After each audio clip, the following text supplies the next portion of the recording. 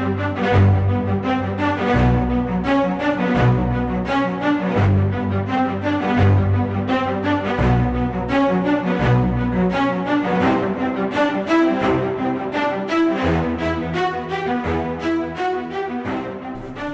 شما خوش آمدید به برنامه امروز ایران و جهان. من فریبا شیروزی هستم. در این برنامه از نشست وین درباره بحران سوریه خواهیم گفت. نگاهی خواهیم داشت به گزارش تازه بانک جهانی درباره فضای کسب و کار در ایران. از چراغ سبز سویفت برای اتصال ایران به شبکه بانکی جهانی خواهیم گفت و مروری هم می‌کنیم به تازه ترین مناظره نامزدهای جمهوری خواه آمریکا برای انتخابات ریاست جمهوری این کشور. با ما همراه باشید.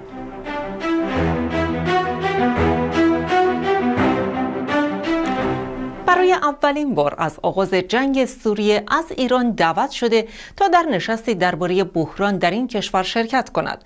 وزیر خارجه عربستان گفته این نشست آزمونی خواهد بود تا دید تهران و مسکو چقدر تمایل دارند یک راه حل سیاسی برای این بحران پیدا کنند.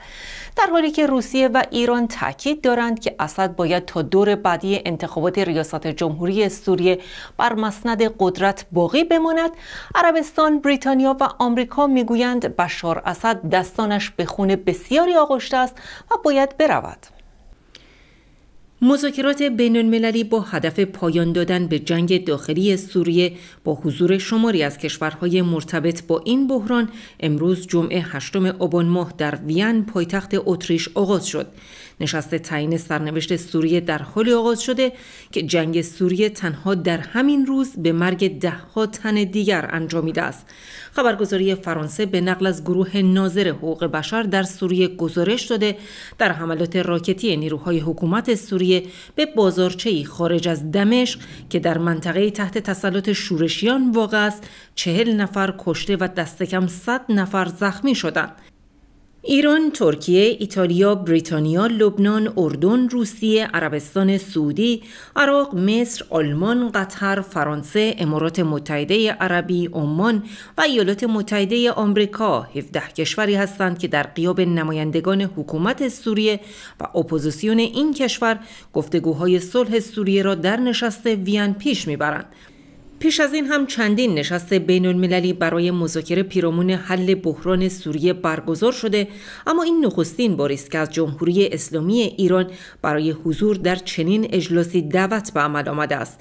جان کربی سخنگوی وزارت خارجه آمریکا گفته بود واشنگتن به هیچ وجه موافق فعالیت های ایران در سوریه نیست. با این حال ایالات متحده به این نتیجه رسیده است که برای ایجاد یک گذار سیاسی در سوریه حضور ایران در مذاکرات لازم است. شرکت کنندگان در این نشست در حال بررسی ایده های مختلف هستند از جمله طرحهای ایالات متحده آمریکا و روسیه. گزارش ها از وین به نقل از دیپلمات های غربی از پافشاری کشورهای غربی برای عدم جایگاه بشار اسد در آینده سوریه حکایت دارد. در این حال مشخص نیست آیا مواضع غرب درباره زمان کنارگیری احتمالی بشار اسد از قدرت تغییر کرده باشد و اینکه آیا روند انتقالی در سوریه باید بدون اسد شروع شود یا وی در آغاز این روند هنوز بر سر مسند قدرت است. بانکیمون دبیر کل سازمان ملل متحد ضمن ابراز امیدواری در این مورد که این نشست بتواند راهی برای پایان دادن به فاجعه انسانی ناشی از جنگ داخلی سوریه بیابد از تمامی شرکت کنندگان خواسته است از خود انعطاف پذیری لازم را بروز دهند. عادل الجبیر وزیر خارجه عربستان سعودی گفته نقش ایران در این مذاکرات محدود خواهد بود. به تاکید کرده بشار اسد بدون شک باید برود یا از طریق یک روند سیاسی و یا از طریق زور. جان کری وزیر خارجه آمریکا که ریاست نشست وین را بر عهده دارد پیش از آغاز این مذاکرات در جمع خبرنگاران نسبت به دستیابی به راه حلی سیاسی برای پایان دادن به جنگ چهار ساله داخلی در سوریه ابراز امیدواری کرد. وی قرار است در چارچوب نشست وین دیداری با همتای ایرانیش محمد جواد ظریف داشته باشد. آقای ظریف روز گذشته نیز با جان کری و سرگئی لاوروف همتایان آمریکایی و روس خود دیدار و گفتگو کرد. وزیر خارجه ایران در حال به وین سفر کرده است که به گفته یک مقام ارشد در خاورمیانه نشانه هایی دال بر احتمال توافق ایران برای انتقال قدرت در دمشق در پی یک دوره شش ماهه وجود دارد. سفری که سخنگوی وزارت خارجه ایران اعلام کرده با تایید مقامات عالی کشور انجام شده است. لوران فابیوس وزیر امور خارجه فرانسه هم گفته اگر توافقی در این گفتگوها به دست آید بیشتر بر سر روش ها خواهد بود و توافقات اساسی متاسفانه هنوز نیازمند مذاکرات بیشتر است. وزیر امور خارجه آلمان فرانک والتر مایر نیز گفته است امید به موفقیت این مذاکرات کم نیست. در این حال جورج صبرا از رهبران مخالفان میان روی بشار اسد نسبت به حضور ایران در مذاکرات وین ابراز نارضایتی کرده. چهار گروه تشکیل دهنده ارتش آزاد سوریه با تکذیب سخنان مقامات روسیه گفتند که هیچ فردی به نمایندگی از سوی ارتش آزاد سوریه برای ملاقات با رهبران روسیه به مسکو نرفته است ارتش آزاد سوریه مسکو را متهم می کند که مواضع این گروه را در سوریه بمباران می کند. تهران و مسکو از مهمترین حامیان اسد او و متحدانش را خط مقدم جنگ با تروریسم توصیف می کنند. کشورهایی مانند عربستان سعودی از مخالفان بشار اسد در این حال مخالف حملات هوایی روسیه در سوریه هستند. ناظران می‌گویند هیچ کس از این نشست انتظار معجزه ندارد. ورود بازیگران جدید به جنگ سوریه بحران این کشور را بیش از پیش پیچیده و پرهزینه کرده است. بانک جهانی می‌گوید فضای کسب و کار در ایران در یک سال گذشته تغییر چندانی نکرده. از نظر سهولت کسب و کار ایران در بین 189 کشور در رتبه 118 هم قرار گرفته و روند کسب و کار نسبت به سال گذشته تنها یک پله بهبود یافته است. در جدول بانک جهانی اریتره در آخرین مقام و سنگاپور در نخستین رده قرار دارند. بانک جهانی گزارش سالانه خود درباره شرایط فضای کسب و کار در فاصله زمانی ژوئن 2014 تا ژوئیه 2015 را منتشر کرده است. در ارزیابی های انجام شده میان 189 کشور جهان سنگاپور، نیوزلند و دانمارک رتبه های اول تا سوم را کسب کردند. فضای کسب و کار بر اساس شاخص هایی چون دارایی ها، اعتبارات، حمایت از سرمایه گذاری، تجارت، اجرای قراردادها، اخذ مالیات و یا کسب مجوز تشخیص داده می شود و معیار برای تعیین موقعیت اقتصادی و تجاری هر کشور به شمار می رود نمره ایران در شاخص کلی فضای کسب و کار 44 ممیز 57 اعلام شده که نسبت به سنگاپور با 34 ممیز 87 فاصله زیادی دارد. شاخص سال گذشته ایران 74 ممیز 56 بود. در این گزارش آمده که شروع کسب و کار در ایران در سال گذشته دشوارتر از پیش شده و پنج پله نزول کرده است. این شاخص در سال پیش برابر با 82 بود و در سال جاری به رتبه 87 رسیده است. شاخص کلی فضای کسب و کار بر اساس فاکتورهایی چون فرایند قانونی مربوط به شروع کسب و کار، زمان و هزینه راه اندازی یک کار و حداقل سرمایه لازم برای هر کسب و کار تعیین می شود. در گزارش بانک جهانی آمده است که میزان اقدامات قانونی شروع کسب و کار 8 مورد، زمان آن 15 روز و هزینه آن معادل دو ممیز 7 درصد درآمد سرانه ملی است این گزارش همچنین حاکی از آن است که وام گرفتن در ایران در مقایسه با سایر کشورها سختتر شده است. جایگاه ایران در گزارش سال گذشته 90 بود که به 97 در سال جاری تنزل یافته است. این بدان معناست که قوانین و مقررات مربوط به دریافت وام پسرفت داشته است. رده ایران از جنبه حمایت از سرمایه گذاران نیز یک رده تنزل کرده و از 150 در سال گذشته به 149 رسیده است. رتبه ایران در زمینه پرداخت مالیات مستقیم و غیر مستقیم و سهولت تجارت نیز یک درجه سقوط کرده و به ترتیب به 167 و 123 رسیده است. یک نکته منفی دیگر تنزل سپلهی ایران در زمینه تعطیلی بنگاه ها و پایان گرفتن یک فعالیت تجاری است که از 137 در سال گذشته به 140 در گزارش سال جاری رسیده است. این گزارش وضعیت کسب و کار ایران در بازه زمانی جوان 2014 تا 2015 را باستاب می‌دهد. توافق اتمی در جوان 2015 امضا شد و پس از آن موجی از خوشبینی و انتظار برای دوران موسوم به پسا تحریم برا افتاد.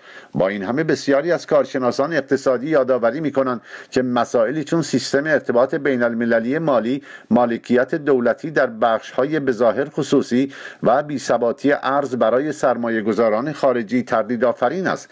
مسئله ثبات سیاسی و امنیت نیز اهمیت زیادی برای سرمایه گذاران خارجی دارد. حسن روحانی رئیس جمهور ایران کمی پس از توافق ای گفت وظیفه نیروهای مسلح و امنیتی امن نگه داشتن فضا برای کار و تولید است. او از وزیران و مدیران دولتی خواست با برداشتن موانع کار را برای حضور سرمایه گذاران و کارآفرینان تسهیل کنند. سعید لیلاز کارشناس مسائل اقتصادی اما به تازگی در نشستی در اتاق بازرگانی تهران گفته است امیدی که به سرمایه گذاری خارجی بسته این واهی است چرا که با اوضاع سیاسی فعلی اتفاق نخواهد افتاد. در حالی که چهار ماه تا برگزاری همزمان انتخابات مجلس شورای اسلامی و مجلس خبرگان رهبری باقی مانده است اکبر هاشمی رفسنجانی رئیس مجمع تشخیص مسلحت نظام ایران ابراز امیدواری کرده که با مشارکت بالای رای دهندگان در پای صندوق رای بهترین انتخابات تاریخ انقلاب برگزار شود. اکبر هاشمی رفسنجانی رئیس مجمع تشخیص مسلحت نظام ایران می‌گوید رضایت جامعه از نتیجه انتخابات پیش روی مجلس ایران ضروری است. و ابراز امیدواری کرده که بهترین انتخابات تاریخ انقلاب در سرنوشت سازترین انتخابات برگزار شود. آقای هاشمی ششم آبان ماه در جریان یک سخنرانی در همدان بار دیگر با انتقاد از دوران ریاست جمهوری محمود احمدی نژاد گفته در جریان انتخابات ریاست جمهوری سال 92 در آن فضای سنگین امنیتی مردم به پای صندوقهای رأی آمدند. و با انتخاب خیش اعلام کردند که این هشت سال تجربه تلخ برای همه تاریخ ایران کافی است این چهره سیاسی نزدیک به حسن روحانی رئیس جمهوری ایران از مخالفان و منتقدان محمود احمدی نژاد چه در زمان ریاست جمهوری او و چه پس از آن بود او و محمد خاتمی رئیس جمهوری پیشین از جمله کسانی بودند که از حسن روحانی در جریان انتخابات 92 حمایت کردند. آقای هاشمی رفسنجانی در خرداد ماه گذشته روحانیون حامی آقای احمدی نژاد نیز انتقاد کرده و گفته بود که آنها هم مقصرند. آقای رفسنجانی بدون اشاره مستقیم به رخدادهای سال گذشته می‌گوید اکنون اوضاع بهتر است چرا که علاوه بر مردم بخش عظیمی از مسئولان کشور امانتدار آرا هستند پس از اعلام انتخابات سال 88 موجی از اعتراضات در ایران شکل گرفت. اعتراضاتی که با سرکوب نیروهای امنیتی مواجه شد و در پی آن گروهی از معترضان کشته شده و بسیاری نیز بازداشت و روانه زندان شدند. آقای هاشمی رفسنجانی تاکید کرده که رضایت جامع از نتیجه انتخابات برای تداوم توسعه و تغییر نگاه بین المللی به ایران ضروری است. به گفته آقای هاشمی رفسنجانی رادیو و تلویزیون دولتی ایران نیز باید اصر را بر حضور مردم در انتخابات قرار دهد و نباید جناهی عمل کند که البته اگر چنین کند نتیجه معکوس می‌گیرد. آنگونه که در انتخابات گذشته گرفت چون مردم همه چیز را می‌دانند. این نخستین بار نیست که آقای هاشمی بر اهمیت بالای انتخابات مجلس تاکید می کند او از جمله در مرداد ماه گذشته نیز گفته بود انتخابات پیش روی مجلس شورای شورای اسلامی و خبرگان بسیار مهم و جزو مهمترین انتخابات هستند. در حال حاضر اکثریت مجلس ایران در دست اصولگرایان است. برخی از آنها پیشاپیش هشدار دادند که مجلس نباید حتی به دست اصلاح طلبان معتدل بیفتد. گروهی از روحانیون تندرو و ارشد جمهوری اسلامی نیز در مورد نتیجه انتخابات مجلس خبرگان هشدار دادند. دهمین انتخابات مجلس شورای اسلامی در ایران در اسفند ماه 94 و اردیبهشت 95 برگزار می شود. نخستین مرحله آن در هفتم اسفند ماه همزمان با انتخابات مجلس خبرگان است که اکبر هاشمی رفسنجانی پیشتر اعلام کرده بود خود در آن شرکت خواهد کرد. سویفت اعلام کرده که به محض تایید پایبندی ایران به تعهدات توافق جامع هسته شبکه بانکی ایران را بار دیگر به شبکه جهانی متصل خواهد کرد. از سرگیری خدمات سویفت برای ایران می تواند نقل و انتقال درآمدهای نفتی و غیر نفتی را به طور چشمگیری تسهیل کند و در گشایش درهای اقتصاد کشور به روی سرمایه گذاران جهانی بسیار موثر باشد. سویفت شبکه مهم در گستره جهانی است که امکان ارتباط 9700 بانک از 209 کشور دنیا را فراهم و امنیت نقل و انتقالات میان آنها را تامین می کند. جامعه جهانی ارتباطات مالی بین بانکی سویفت روز دوشنبه چهارم آبان ماه اعلام کرد که آماده است تا با آغاز اجرایی شدن برجام و اثبات پایبندی ایران به تعهدات مسرح در توافق جامع هسته‌ای با لغو تصمیم پیشین مبنی بر قطع خدمات به ایران بار دیگر امکان اتصال بانک‌های ایرانی به این شبکه جهانی را فراهم کند. از سرگیری خدمات سویفت برای ایران می تواند گامی مهم و کلیدی در گشایش درهای اقتصاد کشور به روی سرمایه گذاران جهانی باشد و نقل و انتقال درآمدهای نفتی و غیر نفتی را هم به طور چشمگیری تسهیل کند. خدمات سویفت به ایران از مارس سال 2012 میلادی در پی تشدید تحریم ها علیه جمهوری اسلامی متوقف شد. با قطع خدمات سویفت به ایران همه راه های رسمی نقل و انتقال پولی و ارزی بانک های ایرانی با شبکه بانکی خارج از کشور مسدود شد و این مسئله آسیب های عظیمی به اقتصاد ایران وارد کرد و اختلالات بی سابقه در روند مبادلات میان بانکی پدید آورد. گذشته از این در پی قطع خدمات سویفت زندگی میلیون ها ایرانی که خارج از مرزهای کشور زندگی می کنند نیز تحت تاثیر قرار گرفت. سویفت شبکه‌ای مهم در گستره جهانی است که امکان ارتباط 9700 بانک از 209 کشور دنیا را فراهم و امنیت نقل و انتقالات میان آنها را تأمین می کند. تصمیم سویفت برای توقف سرویس دهی به شبکه بانکی ایران در پی تشدید تحریم ها از سوی اتحادیه اروپا اتخاذ شده بود و حالا با تصویب لغو تحریم های اعمال شده علیه ایران از سوی اتحادیه اروپا این اتحادیه آماده است تا سرویس دهی به ایران را از سر بگیرد. ولی الله سیف رئیس کل بانک مرکزی جمهوری اسلامی هم روز دوشنبه از برقراری سویفت به محض لغو تحریم ها گفت و تاکید کرد کارهای اساسی از دوران پسا تحریم آغاز خواهد شد. ده نامزد حزب جمهوریخواه آمریکا در یک مناظره تلویزیونی در کنار یکدیگر قرار گرفتند. این سومین مناظره میان نامزدهای اولیه حزب جمهوریخواه برای انتخابات ریاست جمهوری ایالات متحده با تمرکز عمده بر محور اقتصاد و مسائل مالی و مالیاتی بود. سومین مناظره نامزدهای اولیه حزب جمهوری خواه برای انتخابات ریاست جمهوری ایالات متحده با تمرکز عمده بر محور اقتصاد و مسائل مالی و مالیاتی برگزار شد. ده نامزد اصلی انتخابات از حزب جمهوری خواه روز چهارشنبه ششم آبان ماه در مناظره شبکه CNBC شرکت کردند. روش پرداخت و جمعآوری مالیات مخارج دولت فدرال و کسب و کار و فرصتهای شغلی از موضوعات اصلی مناظره بودند. بن کارسون و دانالد ترامپ که در حال حاضر از بیشترین محبوبیت در میان رای دهندگان برخوردار هستند در چند مورد هدف حملات انتقادی دیگر نامزدها قرار گرفتند. از جمله منتقدان دو نامزد محبوب فعلی جان کاسیچ فرماندار اوهایو بود که برنامه های مالیاتی ترامپ و کارسون را بازی خیال پردازانه توصیف کرد که تریلیون ها دلار به بدهی های ملی خواهد افزود.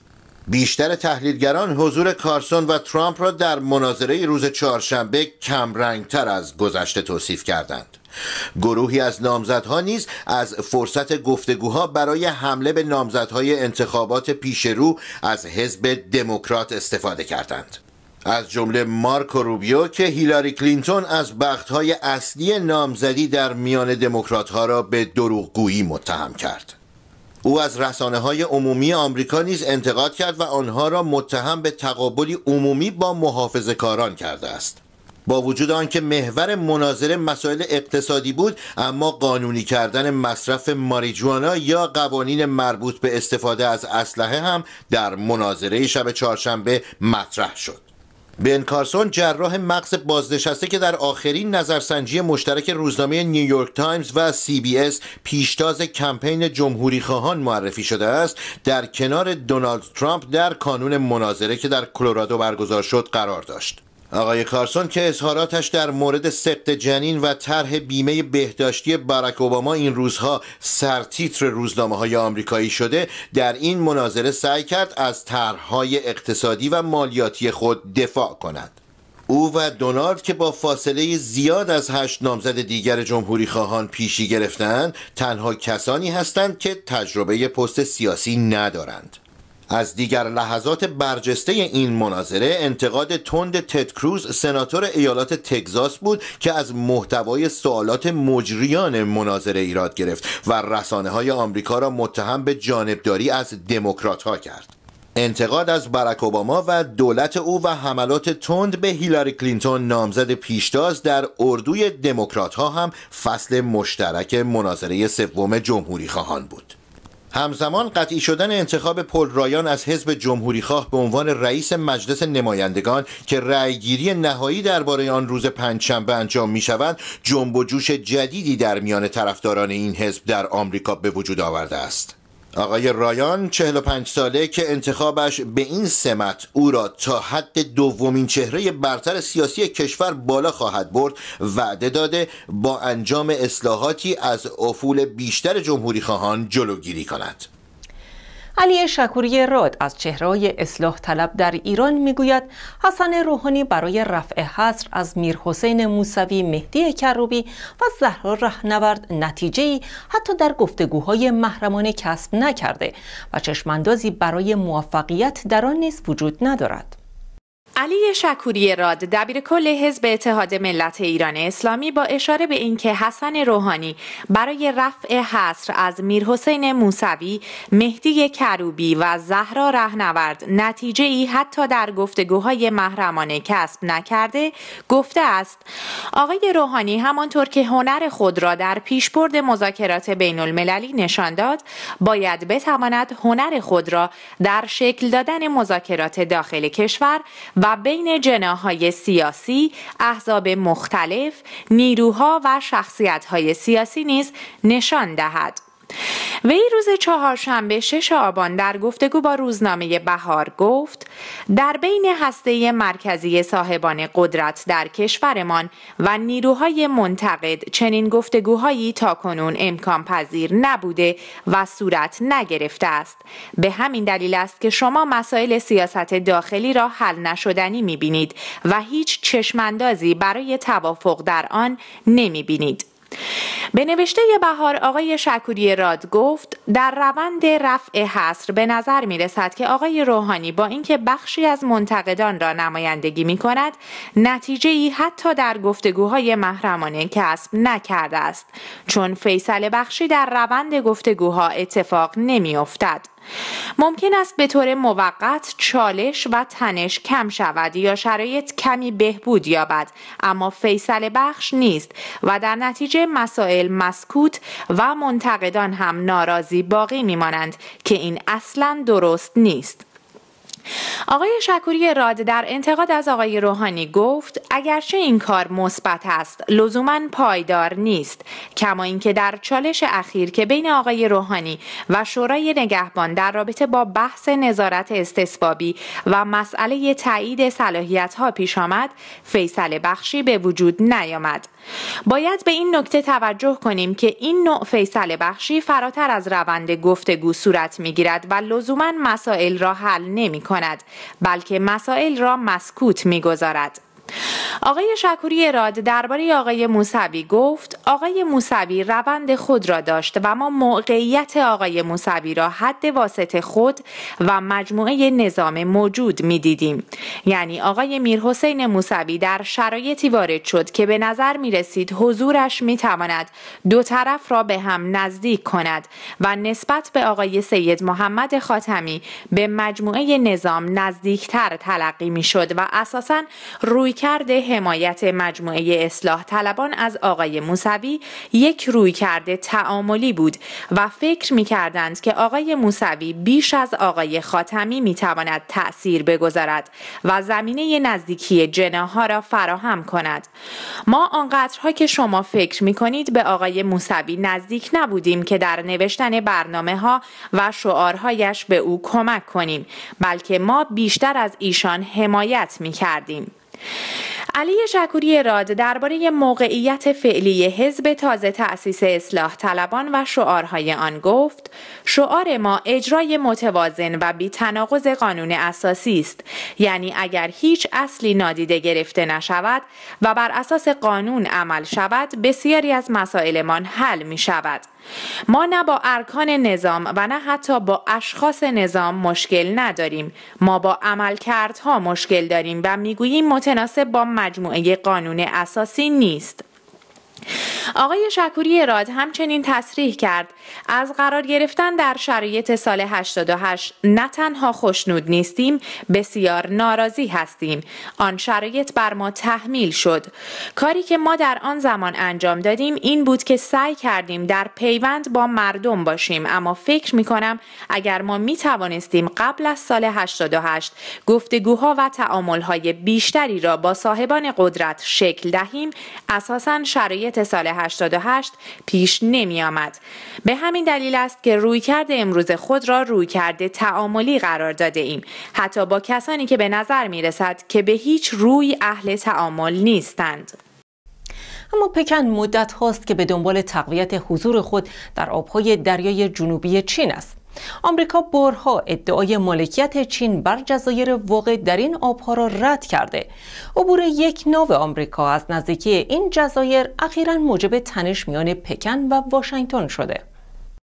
در پی استقرار یک ناوشکن آمریکایی در نزدیکی جزایر مورد ادعای چین در دریای جنوب چین پکن سفیر آمریکا را فراخواند جانگ یسوی معاون وزیر خارجه چین در دیدار با ماکیباکوس سفیر آمریکا در پکن گفت حضور ناوشکن آمریکایی در نزدیکی جزیره اسپراتلی اقدامی شدیدا غیر مسئولانه است. پیشتر وزارت خارجه چین گفته بود نزدیک شدن ناوشکن لاسن به جزایری از مجموع الجزایر اسپراتلی غیر قانونی است. سخنگوی وزارت امور خارجه چین روز سهشنبه پنجم آبان ماه گفت اگر ایالات متحده به ایجاد تنش در منطقه ادامه دهد پکن ممکن است به فکر افزایش توانایی های متقابل بیفتد. آمریکا می‌گوید فعالیت گشتنی ناوشکن آن کشور فعالیتی معمول و در راستای دریانوردی آزاد در آبهای بین المللی است و این ناوشکن پیشتر به جزایر مورد ادعای ویتنام یا فیلیپین نیز نزدیک شده است فیلیپین از جمله متحدان واشنگتن در شرق و جنوب شرقی آسیا به شمار می رود. چین می گوید مالک عمده جزایر دریای جنوب چین است سخنگوی وزارت امور خارجه چین روز سهشنبه پنجم آبان گفت ناوشکن آمریکایی لاسن به طور غیرقانونی وارد آبهای ساحلی این کشور شده است. این مقام چینی گفت دولت جمهوری خلق چین با اقدام هر کشوری که به بهانه آزادی عبور مرور دریایی یا هوایی حق حاکمیت و امنیت ملی چین را نقض کند به شدت مخالف و نسبت به آن معترض است و پکن به هر اقدام تحریک‌آمیز عمدی در نقض این حق واکنش لازم را نشان خواهد داد. در ساعات اولیه بامداد روز سهشنبه نافشکن آمریکایی لاسن که حامل موشک های هدایت شونده است در جریان عملیات گشتزنی دریایی خود وارد حریم دوازده مایلی چند جزیره مصنوعی شد که دولت چین در آبهای مورد اختلاف در دریای چین احداث کرده است. تعدادی از کشورهای دیگر نسبت به این منطقه ادعای ارزی دارند اما دولت چین تعدادی از صخره مرجانی منطقه را به جزایر مصنوعی با امکان استقرار تأسیسات نظامی تبدیل کرده و ساخت و ساز بر این جزایر ادامه دارد. ایالات متحده آمریکا تعلق جزایر این منطقه به چین را به رسمیت نشناخته و این منطقه را از جمله آبراهای آزاد بین المللی می داند. سخنگوی کاخ سفید گفته است که ایالات متحده همواره اهمیت حرکت آزاد تجارت دریایی در منطقه دریایی جنوب چین را به دولت چین یادآور شده است این نخستین بار از زمان آغاز عملیات ساخت و ساز بر جزایر مصنوعی در این منطقه در اواخر سال 2013 است که نیروی دریایی ایالات متحده گشتی هایی را به نزدیک این جزایر اعزام کرده است. دریای جنوبی چین یکی از آبراهای مهم بین المللی است و ارزش کالاهای عبوری از این آبرا در هر سال به حدود 5 تریلیارد دلار بالغ می شود ایالات متحده نگران آن است که هدف چین از ایجاد این جزایر مصنوعی گسترش قابلیت نظامی خود در این منطقه باشد. هرچند دولت چین گفته است که عملیات ساختمانی عمدتا جنبه غیر نظامی دارد و کاربرد نظامی آن محدود است.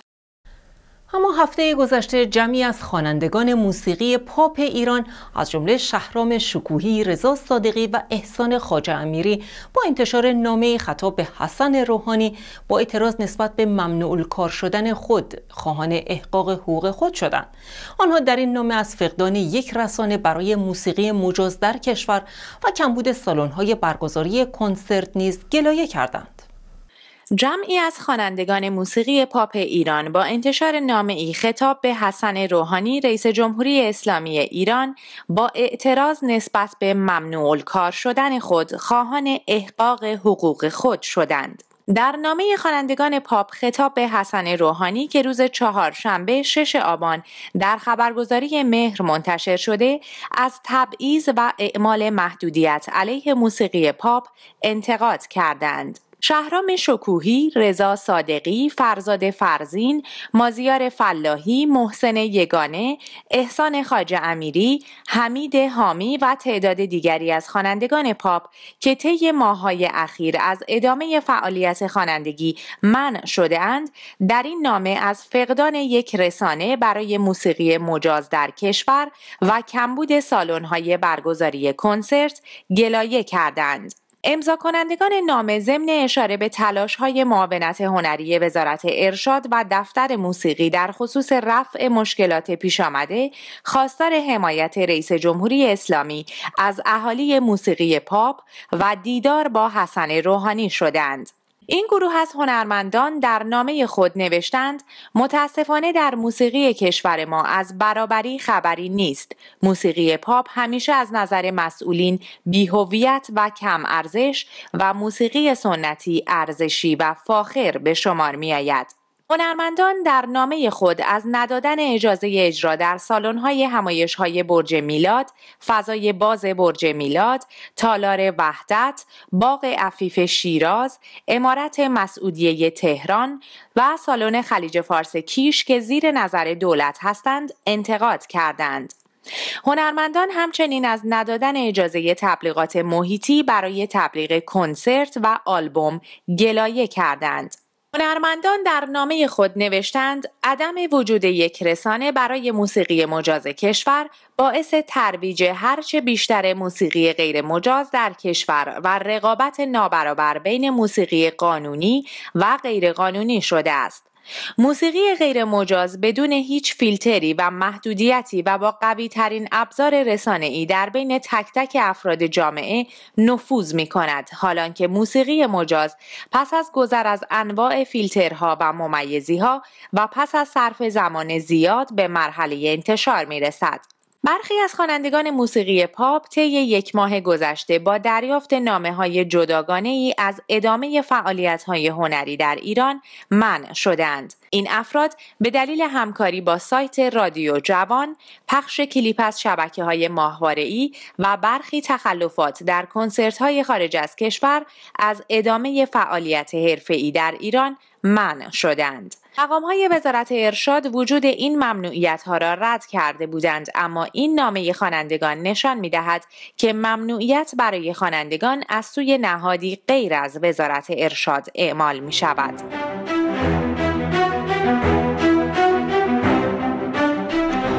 گزارش به پایان برنامه این هفته ایران و جهان می‌رسیم. بسیار سپاسگزارم که با ما همراه بودید. با ما از طریق نشانه هایی که بر روی صفحه تلویزیون ظاهر شده در تماس باشید و نظرات پیشنهادات و نقدهای خود را برای ما بنویسید. تا هفته دیگر و دیدار دیگر شب و روز شما خوش.